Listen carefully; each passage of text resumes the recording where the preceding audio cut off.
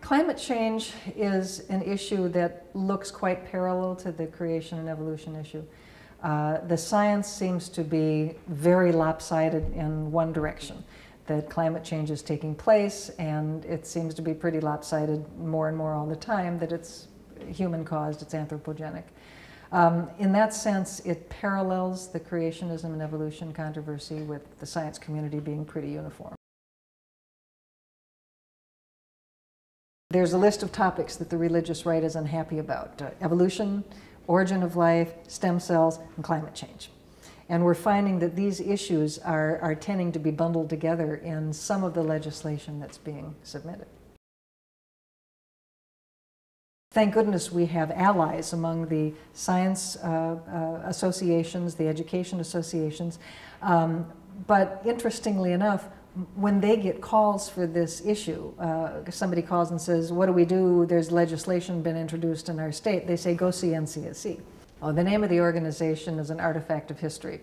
When the founders of the organization put it together back in the early 80s, it was because of the creationism and evolution controversy, and there was legislation sprouting up all over the country, and they came together, and what do we call it? Well, let's call it the National Center for Science Education because if we just call it the Center for Combating Creationism or something, that's going to limit us. They, they really thought that once we take care of this creationism issue, we'll be able to go on and scientists work, and teachers working together will really strengthen science education. And of course, you know, here 25 plus years later, we're still up to our nostrils in creationism, but oh well. It comes from members. We're a membership organization, and we have to get uh, private foundation grants. We answer all the phone calls, we answer all the emails, uh, we do everything we can to give people what they need. Sometimes we have to give someone a little less attention than someone else, depending on staff resources and, and what other uh, flaming pans there are in the fire. Flare-ups is the in-house term that we use for controversies generally at the local or the state level. And one flare-up that we've been working on recently and monitoring is in Livingston Parish, Louisiana.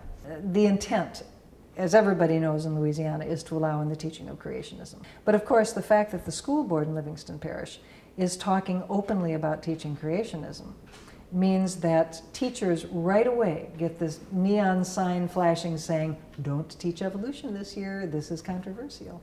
And of course, this is relevant to the climate change issue too, because whenever you make anything controversial, teachers tend to back off and teachers tend to not teach it. So whatever environmental education uh, concentration about climate change that might have been going on, as soon as you get some letters to the editor in the local newspaper about, oh, climate change is a fraud, there's no global warming, etc., teachers are very likely to back off and say, okay, well, perhaps we'll just skip that unit this year.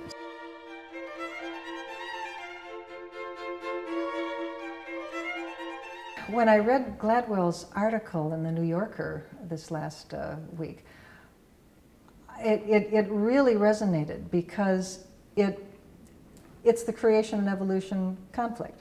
Um, we do use social networking, but the most effective groups that we have are the groups that have actually worked together for a long time, where people know each other and trust each other and they have those personal bonds.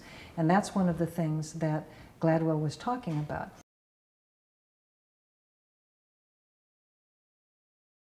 For the Kitzmiller versus Dover intelligent design trial, we put together a team of people who have worked together for years and years. We know each other's position, um, we all like each other and respect each other, and uh, there's, there's this real sense of camaraderie. And that is where we've really been able to have successes in places like Texas, in places like Kansas, where we've had these long-running uh, controversies, and where we've built up a network um, uh, of people who know each other, trust each other, and have those personal bonds.